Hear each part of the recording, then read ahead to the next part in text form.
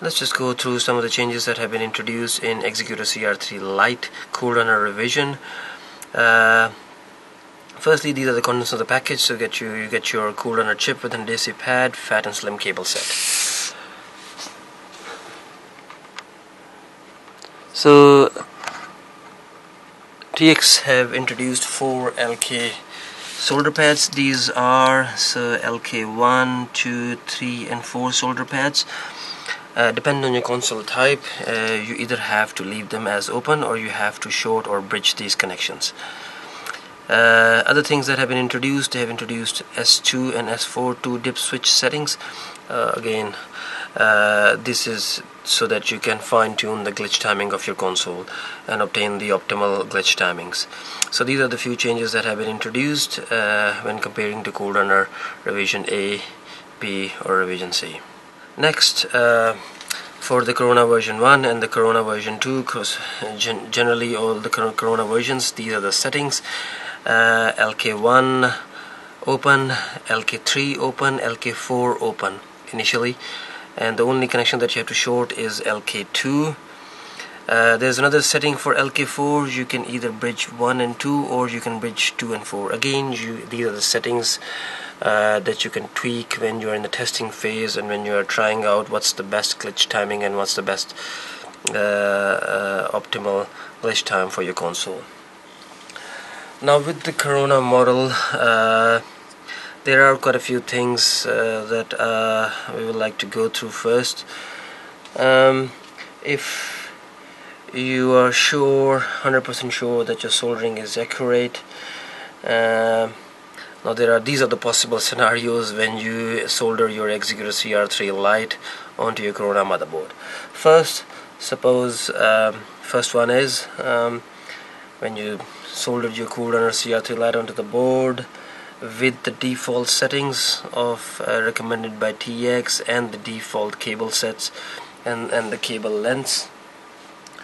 Uh, the first scenario is suppose your console boots up in the first go. Fine, stick with that setting, no need to tweak it.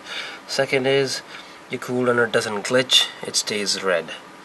This means that you have to have at least one setting on your S2 uh, switch third is your console takes very long to boot and these are some of the things you can do to tweak it you can play around with S2 dip switch settings in S4 and you can change LK4 solder pads. You can try 1 and 2 you can bridging try 1 and 2 or you can try bridging 2 and 3 or you can try uh, there are 8 um, so far there are 8 Corona uh, glitch timing file for the cooler so you have to try pretty much all of these just to see which one suits your console. The final one this is a tough one. Uh, to deal with. If you're sure your soldering is accurate and you have tested uh, once you have soldered your cool runner it uh, boots stock NAND fine but it doesn't glitch this is this is the one that gets a bit tough. These are the things you can do uh, to to have a XeLL attempted to attempt a XeLL boot up and obtain the CPU key.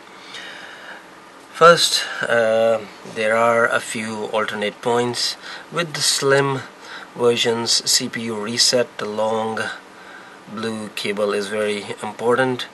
Um, you can try out a few alternate points. First, uh, the recommended one is C5R11 point but in order to solder to that point you have to take out the X clamp it adds a bit of extra work you have to remove the fan add remove the old thermal compound add the new thermal compound. So there's a bit of extra work with that. There's three other points so far. Uh, you can solder to FT3T10 and then there is R4 P4 point and then there is another one located on the top of the motherboard as well. So I'll be showing you all these three all these alternate points. And, uh, and the most convenient one is FT3T10 you can try soldering to that point. Uh, next you can try out uh, different lengths of the long CPU reset cable. This is very important if your console doesn't uh, boot XeLL after you know trying so many settings then this is what you need to do. You need the, the default uh, length is 54 55 centimeter approximately so you if it doesn't boot you have to cut it to 10 to 14 centimeter and try soldering onto the different alternate points and the recommended one.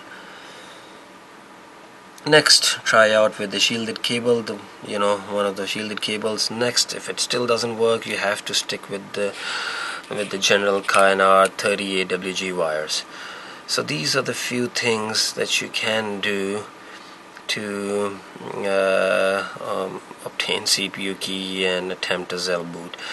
Uh, Corona version 1 version 2 pretty much many uh, they, they all have different settings. So you have to try out all these few different variations in order to obtain the best glitch time or to obtain the CPU key. Uh, there's, there's quite a few trial and trial and error things uh, and these are the things that you uh, you can do to obtain the uh, to obtain the CPU key. Uh, I'll be showing you uh, quite a few settings that you can try out recommended on the TX forums and everything. You can go through that as well. So uh, we'll just point out all the settings that you can try all the different cable lengths different cables possible alternate points as and switch and LK4 settings Alright, this is the final product. This is what we're going to achieve. CR3 Lite soldered, glitched, obtained optimal glitch timing, and finally FreeBoot installed. We decided we're going to do a video of one of the very stubborn Corona bows just to show you all, the, if not all, at least the possible scenarios uh, uh, that may be required in order to glitch your console. There's no point of making a video where the console just boots up with the default settings. So what are we going to do? We're going to pretty much try many different tests different variations different scenarios. Uh, we're going to firstly uh, try the, the basics. We're going to start with the basics recommended settings. So we, uh, from the team Xecuter. So we're going to have uh, recommended settings such as LK solder pads recommended by team Xecuter dip switch settings and we're going to try different variations of CPU reset. We're going to solder it to different points alternate points. We're going to try different lengths we're going to try uh, uh, uh, if it doesn't boot up at all we're going to try with the Kynar wire try with the different cooldown timing files. Uh, so be ensure to prepare for to try out all these possible scenarios uh, if and hopefully uh, pure console will glitch and good luck to you all